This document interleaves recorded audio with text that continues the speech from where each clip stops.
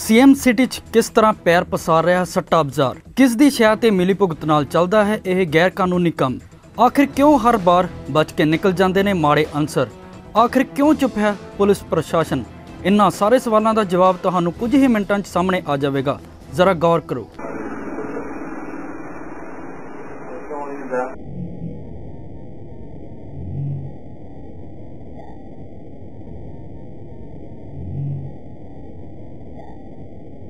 ਆਖਿਰਕਾਰ ਕਿਉਂ ਤੇ ਕਿਸ ਤਰ੍ਹਾਂ ਸਮਾਜ ਵਿਰੋਧੀ ਤੱਤ ਬੜੇ ਆਰਾਮ ਨਾਲ ਸਾਡੇ ਸਮਾਜ ਨੂੰ ਗੰਦਲਾ ਕਰਨ ਤੇ ਲੱਗੇ ਹੋਏ ਨੇ? ਜਿਸ ਦੀ ਕੰਨੋ ਕੰਨ ਕਿਸੇ ਨੂੰ ਖਬਰ ਨਹੀਂ ਹੁੰਦੀ ਸਰਕਾਰ ਦੀ ਇੰਨੀ ਸਖਤਾਈ ਤੋਂ ਬਾਅਦ ਪੰਜਾਬ ਮੁੱਖ ਮੰਤਰੀ ਦੇ ਆਪਣੇ ਸ਼ਹਿਰ ਪਟਿਆਲਾ 'ਚ ਕਿਸ ਤਰ੍ਹਾਂ ਚੱਲਦਾ ਰਿਹਾ ਕਾਲਾ ਕਾਰੋਬਾਰ? ਇਸ ਰਾਜ ਤੋਂ ਪਰਦਾ ਚੁੱਕੇਗਾ ਪੁਲਿਸ ਦਾ ਸਟਿੰਗ ਆਪਰੇਸ਼ਨ। ਹਾਂ ਆਪਣੇ ਨਾਲ ਵਾਲੇ ਚ ਸਬਜ਼ੀ ਵਾਲੇ ਦੇ ਪਿੱਛੇ। ਉਹ ਆ ਗਿਆ। ਇਹਦਾ ਮੈਂ ਮੈਨੂੰ ਲੱਗਦਾ ਜਿੱਤੇ ਜਿੱਤੇ ਜਿਤਾਇਆ ਮੈਚ ਹਾਰ ਗਿਆ ਇਸ ਸਾਲ। ਚ ਜਿੱਤੇ ਜਿਤਾਇਆ ਮੈਚ ਹਾਰੇਂਗੇ ਲੱਗਦਾ ਮੈਨੂੰ। ਤੂੰ ਦੁਕਾਨਦਾਰ ਗੱਲਾਂ ਕਰੀ ਜਾਂਦਾ ਤੇ ਸਕੈਤ ਆਈ ਜਾਂਦੀ ਉੱਤੇ ਮੈਂ ਨਹੀਂ ਕਿਉਂ?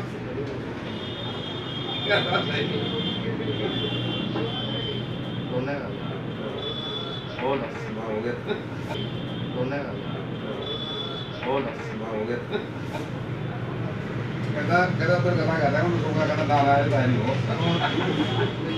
ਹੁਣ ਇਨ੍ਹਾਂ ਤਸਵੀਰਾਂ ਤੋਂ ਸਾਬਿਤ ਹੋ ਜਾਂਦਾ ਹੈ ਕਿ ਆਮ ਵਿਅਕਤੀ ਕੀ ਕਰੇਗਾ ਜਦੋਂ ਬਾੜ ਹੀ ਖੇਤ ਨੂੰ ਖਾਣ ਲੱਗ ਜਾਵੇ। ਇਸ ਵੀਡੀਓ ਨੂੰ ਵੇਖਣ ਤੋਂ ਬਾਅਦ ਕੀ ਸਾਡਾ ਸਮਾਜ ਖਾਕੀ ਵਰਦੀ ਤੇ ਭਰੋਸਾ ਕਰ ਸਕੇਗਾ? ਜਿੰਨੇ ਉਹ ਬੰਦਾ ਕਾਰ ਨੂੰ ਕਰਦਾ ਉਹਨੂੰ ਉਹੀ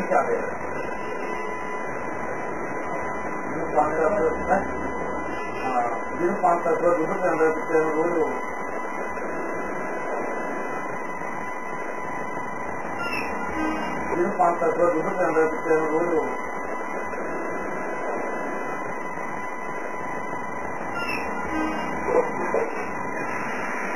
ਪੰਜ ਦਾ ਦੁੱਧ ਪੈਂਦਾ ਪਿੱਛੇ ਨੂੰ ਰੋਜ਼ ਆਉਗਾ ਆਉਗਾ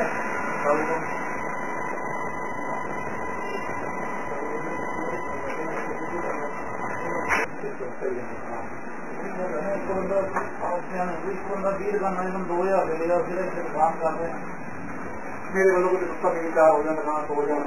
ਉਹ ਤਾਂ ਕਰਨੀਆਂ ਨਹੀਂ ਜਿਹੜੇ ਕੱਟੇ ਦਾ ਕੰਮ ਕਰੋ ਬੰਦੇ। ਉਹਨਾਂ ਦੇ ਲੱਗੇ ਮੋਰ ਨਹੀਂ।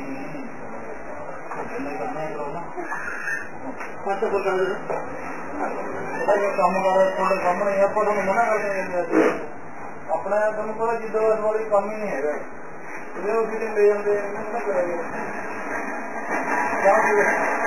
ਆਮ ਜਨਤਾ ਜੋ ਕਿ ਪੁਲਿਸ ਤੋਂ ਇਨਸਾਫ ਦੀ ਉਮੀਦ ਕਰਦੀ ਹੈ, ਪਰ ਇਨ੍ਹਾਂ ਤਸਵੀਰਾਂ ਤੋਂ ਬਾਅਦ ਸਾਰੀਆਂ ਉਮੀਦਾਂ ਤੇ ਪਾਣੀ ਫਿਰ ਜਾਵੇਗਾ। ਇੱਥੇ ਤਾਂ ਉਲਟ ਹੀ ਹੋ ਰਿਹਾ ਹੈ। ਰਿਸ਼ਵਤ ਲੈ ਕੇ ਪੁਲਿਸ ਵੱਲੋਂ ਸੱਟਾ ਬਾਜ਼ਾਰ ਨੂੰ ਸਰਗਰਮ ਕੀਤਾ ਜਾ ਰਿਹਾ ਹੈ। ਕਿ ਸਿਰਫ ਸੱਟੇ ਨੂੰ ਚਲਾਉਣ ਵਾਲਾ ਹੀ ਦੋਸ਼ੀ ਹੈ, ਜਾਂ ਫਿਰ ਜਿਨ੍ਹਾਂ ਦੀ ਸ਼ਹਿ ਤੇ ਚੱਲ ਰਿਹਾ ਹੈ ਭਾਵ ਇਹ ਪੁਲਿਸ ਅਫਸਰ ਦੋਸ਼ੀ ਹਨ?